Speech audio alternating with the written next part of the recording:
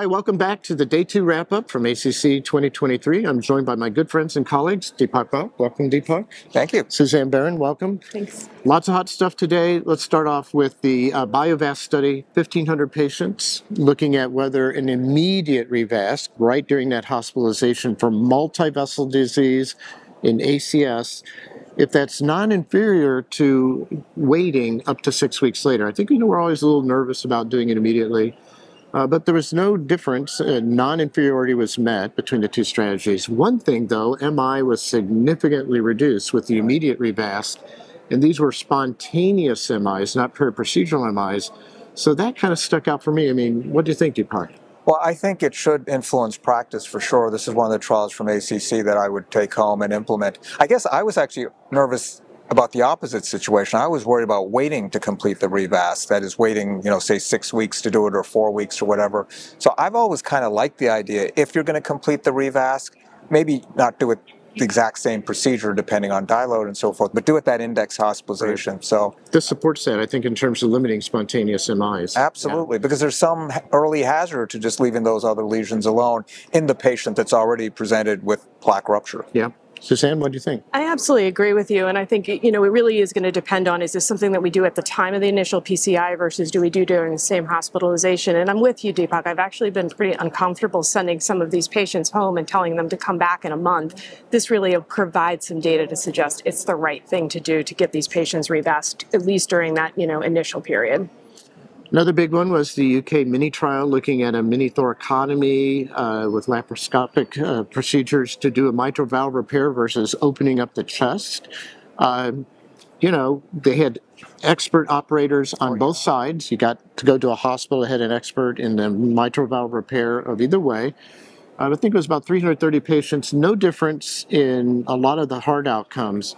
There was a little longer time on the pump and the cross clamp time for the laparoscopic approach, the mini approach. But on the other hand, they got out of the hospital quicker. Right. Uh, you know, the proportion of people with early discharge were greater with the mini approach. What did you think, Deepak? So, I, I, to be honest, I was sort of thinking that there'd be a bigger win for mini. But having said that, there wasn't a loss for mini. Length of stay is a little bit lower. I think a lot of patients like the word mini when they hear it. Sort of reminds me of what Bruce Lytle, a famous cardiac surgeon at Cleveland Clinic, used to tell me when I say, "Well, let's what about a mini thoracotomy or mini this or that?" He'd say, "Look, if you're doing bypass, just open them up full exposure, do what you need to." He never was convinced there were that many benefits for mini, and you know maybe he was onto something. But having said that, you know, I think shorter length of stay, if there's no downside, probably fine. Just go with mini. Yeah. You know, I actually, I, I honestly wasn't terribly surprised by the results because I think actually the TAVR trials have shown us that you know mini thoracotomies are not that much different than having a full a full thoracotomy. We saw that in the patients who got TA access after TAVR, they really didn't do much better than patients who were treated with surgical AVR. Um, you know, I, I do think that it's one of these things that I want to also take is that these were very experienced operators, and you mm-hmm. said that. And so this isn't necessarily if you don't have the uh, experience doing a mini a mini mitral that everybody should just go out and start doing it. It definitely has to come with some learning curve and an experience center. And I think that for me was the big takeaway is we can try it. It might be helpful for some patients, decrease your length of stay, but you have to be experienced if you're going to be doing it. Yeah, surgeons might not like that message, but you know, I think you're right. A thoracotomy is a thoracotomy. Yeah. Well, we have a lot of great science, basic science. We have a lot of great clinical science, but sometimes what's lacking is implementation science. No one's getting the drugs that we, or devices that we've worked so hard to develop. There was a study called the Better Care Heart Failure Study. About two thirds to three quarters of the time, people who are qualified or should get an MRA are not getting it. And so what they tested were a couple strategies either getting an alert during the visit with the patient saying, hey, this person should be on an MRA. It's a single alert during the visit or messaging where they're repeatedly sending you messages between the encounters.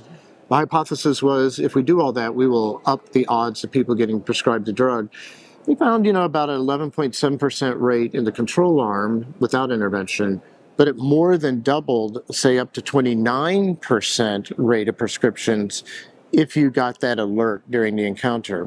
So implementation science is the new basic science uh, uh, over on the clinical side. What did you think, Suzanne? I absolutely, and I think it's a really important thing. You- We unfortunately, there's so much stuff that we're thinking about with our patients, so many new medications, so many things that we need to cover in a short period of time.